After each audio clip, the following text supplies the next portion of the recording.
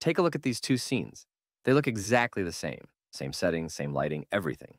But here's the twist. The scene on the left struggles with low frame rate and noticeable stuttering, while the scene on the right runs incredibly smooth with a much higher FPS. So, what's going on here?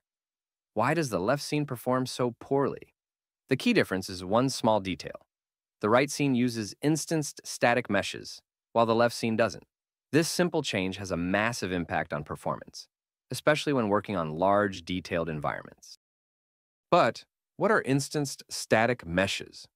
These are a way to reuse the identical mesh multiple times in your scene while saving on performance. Instead of Unreal treating each copy as a separate object, it groups them together as instances. All right, let's take a closer look. By enabling the Nanite visualization primitives, we can actually see the Nanite meshes that are being instanced. Now let's compare the two scenes we looked at earlier.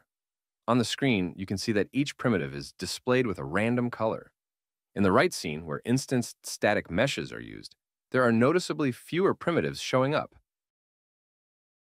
There are multiple ways to use instance static meshes instead of static mesh actors. One approach is to convert existing static mesh actors into a packed level actor. To do this, select the actors you want to group, right-click one of them to pull up the context-sensitive menu. In the menu, navigate to the Level option and select Create Packed Level Actor.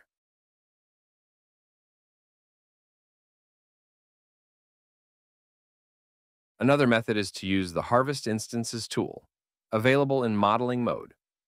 Ensure the Modeling Tools plugin is enabled. To access the Harvest Instances tool, click the X form.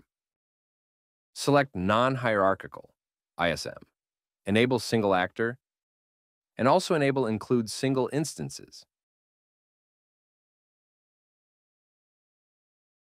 Also, you can use instanced static meshes by spawning them directly in blueprints. You can do this in construction script function by creating a transform array. Spawn an instanced static mesh, then use the Add Instances node to spawn each instance based on the transform array. In this example, I created a blueprint that spawns a static mesh on a grid, either as instanced static meshes or static mesh actors. However, keep in mind that all instances of an instanced static mesh must share the same properties, including materials. If the original static meshes are not identical and do not have the same materials, they won't benefit from being grouped as instanced static meshes. After converting these models to instanced static meshes, they will count as multiple primitives, which prevents them from fully benefiting from instancing.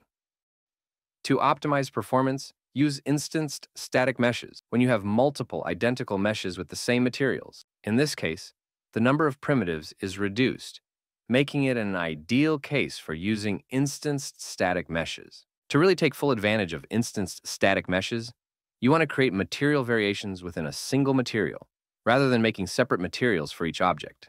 And there are a few tricks in the material editor that can help you do just that. In this example, I've created a material that randomly changes the hue value-based instance and the object's position.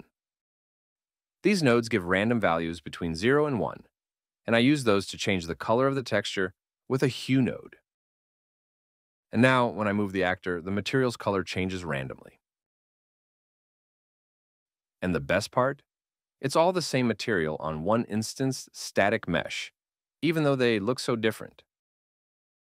If you want even more control, you can tweak this material to include two randomizable values.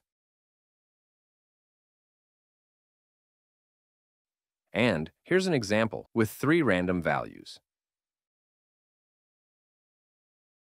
If you want to adjust the material for each instance individually, you can use per instance custom data. It's an array of inputs that can change for each instance, letting you control a parameter of the material. You should set num custom data floats to 1. This allows you to adjust individual values directly linked to each instance.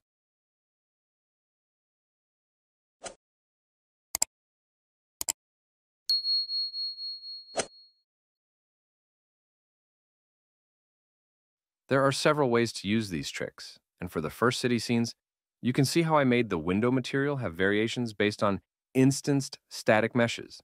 They're not separate materials, which helps keep the number of materials low and minimizes the number of instanced static meshes.